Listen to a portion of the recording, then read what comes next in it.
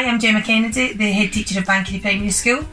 Back at the beginning of our school session, we used to meet as house groups and we asked ourselves, was this a valuable use of our time and what were our pupils actually getting from this? So from these discussions, the dates were already in the diary and we thought about how else can we use this time productively and we came up with the idea of junior leadership teams. And from this, we came up with the types of things that we want to improve in our school and staff members took this on, took leadership roles for each group and each pupil applied for a group and we've been up and running since October time.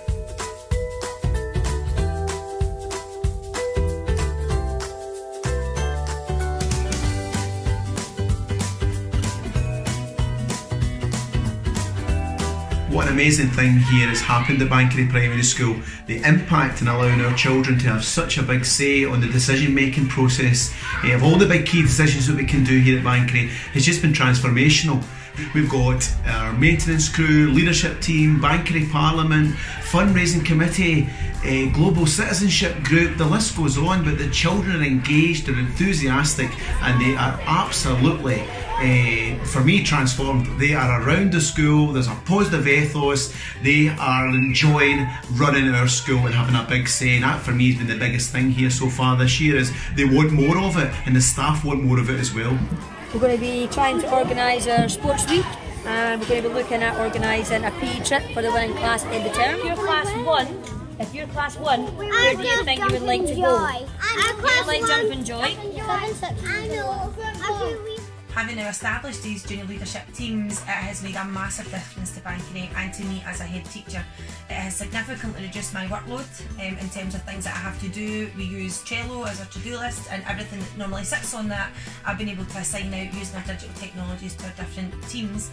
So although we only meet once a month, we actually um, coordinate our assignments through using Microsoft Teams and that has made the process so easy and things get done so quickly. The introduction of the teams has been absolutely fantastic for the school. We have done amazing things, such as the end of term, we had a fantastic Banchory's Got Talent, which saw the organisation done from the pupils right through to the presentation on the day, right through to the performances on the day, and inviting parents, getting raffle prizes, everything like that, everything ready for the show.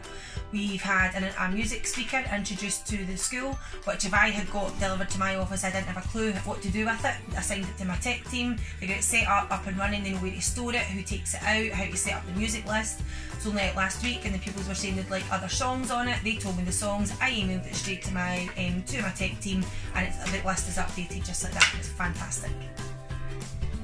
The sports committee have even chosen our new football strips. They talked about the colour, the design, what they wanted the socks to look like, the shorts to look like. They came in last week, quality assurance check. Are we happy with it? Do we want to send anything back? Do we want to change anything? They loved it and we cannot wait to wear them. Our ground maintenance team have been involved in our playground developments and only came to us in the last month to say that they, they think that people are getting bored with what we've got outside, so they've asked us to put an appeal out for more loose parts play.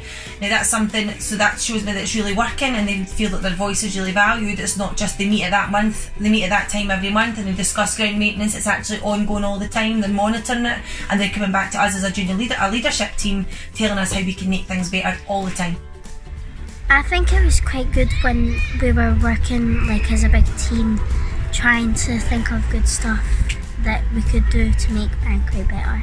Yeah, it's given pupils more of a chance of making them more confident and showing their ideas. It's fun, we get to do coding, well not really coding, we get to buy new stuff, fix new stuff, free up space, and it's pretty fun because everyone gets a shot of doing each thing. We've been organising sports events and trips out of school to do sport. The children use software called Microsoft Teams, and on that, they are able to then set agendas, complete assignments, set their own assignments, and then share that with everyone in the senior leadership team, allowing us to have an opportunity to sometimes set some assignments, but more importantly, give us an opportunity to see what's going on and allow the children to feel part of the decision process. Lots of research out there telling us that if we allow the children to be part of the decision making process, they will buy into it more. It's not tokenistic, we're trying not to treat it tokenistic. We're here to ensure that the children feel part of the school. It's their school, they're helping to run the school in a positive direction. And that's what Microsoft Teams has allowed our school to do this year, a big part of our leadership team's uh, focus. We're making a YouTube channel. Uh, we're going to put emails and make good bank, get the Banchory badge and the Banchory banner. And we went around all of the leadership teams and got videos of like like close-ups.